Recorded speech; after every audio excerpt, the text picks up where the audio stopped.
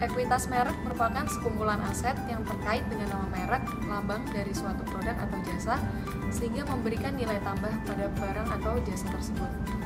Ekuitas merek sendiri merupakan dampak dari suatu kegiatan yang namanya branding, di mana branding ini bertujuan untuk menciptakan suatu diferensiasi. Semakin tinggi dari kualitas ekuitas merek, maka akan meningkatkan tingkat awareness, loyalitas, dan begitu juga profit perusahaan. Proses pengelolaan ini dibagi menjadi empat langkah. Yang pertama yaitu mengidentifikasi dan mengembangkan perencanaan merek. Di sini kita harus tahu merek apa yang mau kita representasikan dan positioning seperti apa yang mau kita tampilkan.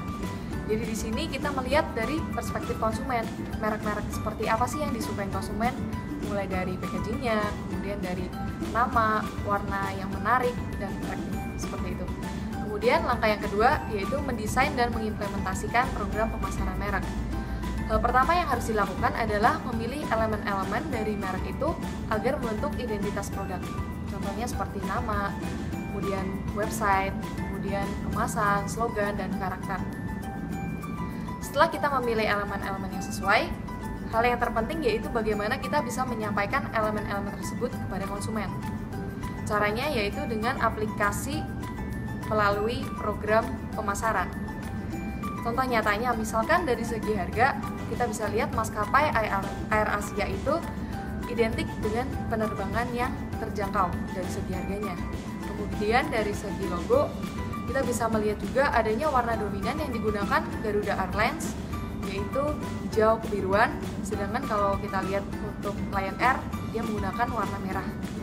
Langkah yang ketiga yaitu mengukur dan menginterpretasikan kinerja merek jadi pada tahap ini kita mengevaluasi pengaruh dari program pemasaran terhadap tingkat awareness dari konsumen. Apakah program pemasarannya itu sudah sesuai dengan yang kita harapkan, memberikan hasil yang efektif bagi konsumen. Kemudian eh, pengevaluasian ini bisa kita lakukan dengan cara kita mengumpulkan input maupun masukan dari konsumen secara survei rutin.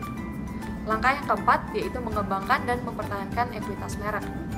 Hal pertama yang harus dipertimbangkan adalah mendefinisikan rancangan merek. Jadi kita di sini menyeleksi strategi-strategi mana dan cara-cara dari program marketing itu sendiri mana sih yang berkontribusi secara efektif. Kalau misalnya tidak berkontribusi secara efektif, kita tidak perlu mengaplikasikannya untuk next time. Kemudian untuk mengembangkan ekuitas merek, kita juga perlu melakukan adjustment seperti yang kita tahu, tipe konsumen itu berbeda-beda satu sama lain. Oleh karena itu, dalam penyampaian merek, kita harus menyesuaikan dengan budaya, experience, behavior, dan target market